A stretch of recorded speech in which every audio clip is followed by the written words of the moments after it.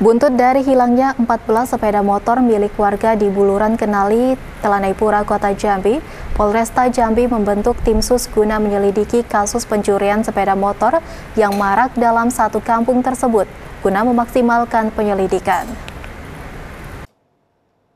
Kasus pencurian kendaraan bermotor atau curanmor kian meresahkan warga di Kelurahan Buluran Kenali, Kecamatan Telanaipura, Kota Jambi. Bahkan pelaku tak segan melakukan berbagai cara untuk mencuri kendaraan milik warga. Menyikapi kondisi ini, Polresta Jambi membentuk tim khusus atau tim sus untuk mengusut tuntas penanganan kasus curanmor. Wakapolresta Jambi AKBP Ruli Andi Yunianto mengatakan, sampai saat ini pihaknya masih terus berupaya mengumpulkan bukti dan petunjuk aksi pencurian sepeda motor tersebut.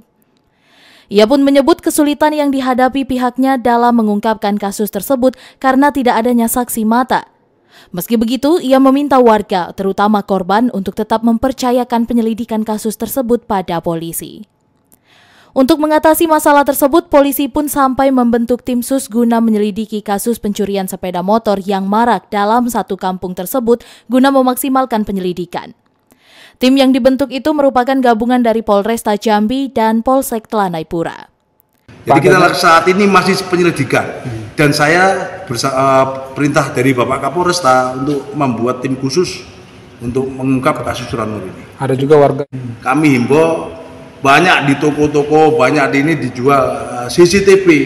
Silakan baik uh, rembukan satu kampung mungkin ya dipasang di jalur masuknya itu itu membantu kami untuk mengungkap eh, semua kasus yang terjadi di hmm. uh, setiap lokasi. Jadi sekarang kan banyak dijual CCTV dan sebagainya atau masing-masing rumah cara kecil punya CCTV atau kampung uh, mengadakan pengadaan khusus jalur-jalur yang rawan dikasih CCTV. Hmm. Ruli mengimbau kepada masyarakat kota Jambi agar selalu berhati-hati saat memarkirkan kendaraan. Jangan sampai pelaku curanmor memperoleh kesempatan untuk melancarkan aksinya. Loadri Aprialdo, Jek TV, melaporkan.